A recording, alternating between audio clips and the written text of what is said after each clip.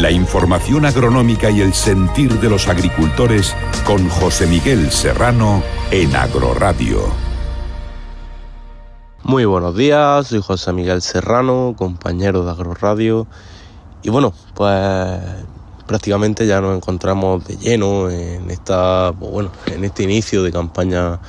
de primavera, que aunque bueno, pues como hemos hablado también, pues bueno, se escuchan muchas cosas de que puede haber más, puede haber menos.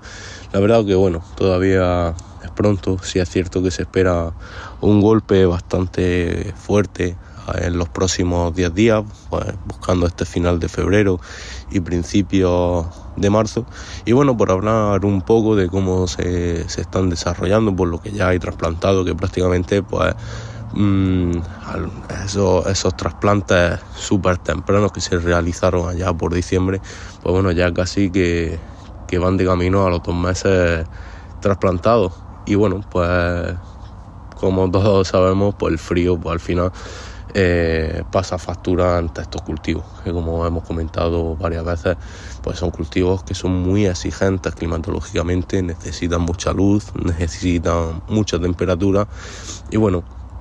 pues ha habido ahí pues, prácticamente unos 20 días o casi un mes que nos han faltado unas veces temperatura y las otras veces luminosidad. Y es por eso pues que bueno la planta ha ido creciendo de una manera mucho mucho más pausada no tan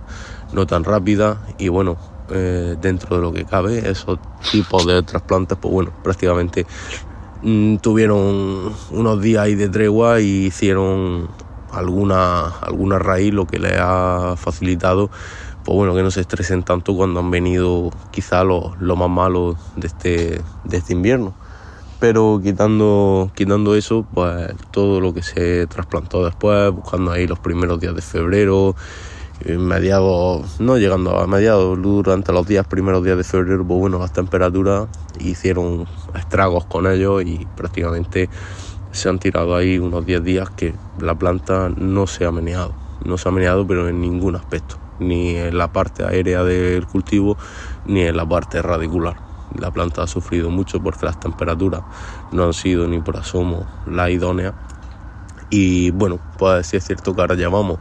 unos otros 7 o 8 días, que bueno, ahí sí la planta ha respondido, está desechando ese estrés que, que, en muchos casos se ha producido y bueno, pues ahora se pueden ver cultivos pues, que mm,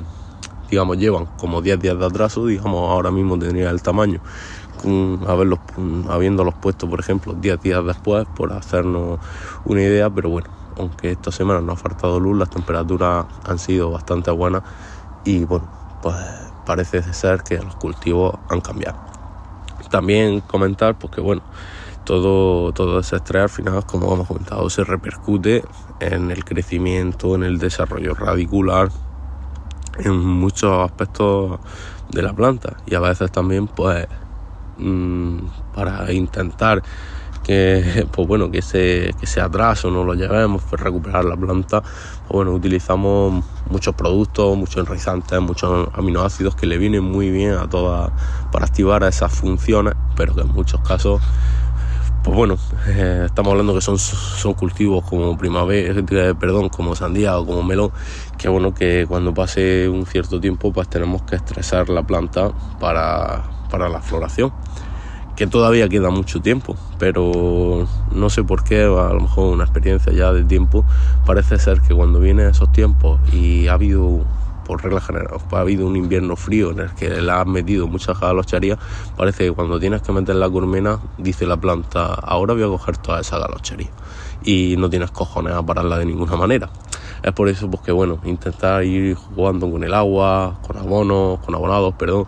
Y bueno, pues si hubiese que realizar ese tipo de, de riegos, que hay que realizarlo siempre para, pues bueno, para, pues, para adelantar, que al final mm, tres días en este tipo de frutos pues puede ser un, mundo. Tres días de corte arriba, tres días de corte abajo puede ser un mundo. Y siempre pues intentamos recortar, ¿no? Pero pues bueno, no abusar mucho de ello, a lo mejor pues bueno, mm, luego a la hora de la floración nos puede ayudar, pero bueno, es que esto nunca se sabe. Pero es cierto pues, que bueno, que cuando vayamos, se vaya acercando el momento, pues bueno, ir teniendo en cuenta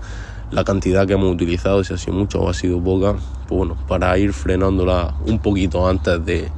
del tiempo que, que debería de ser. Pero bueno, era lo que quería comentar en el día de hoy y nada, nos vemos muy pronto y hasta la próxima. La información agronómica y el sentir de los agricultores con José Miguel Serrano en Agroradio.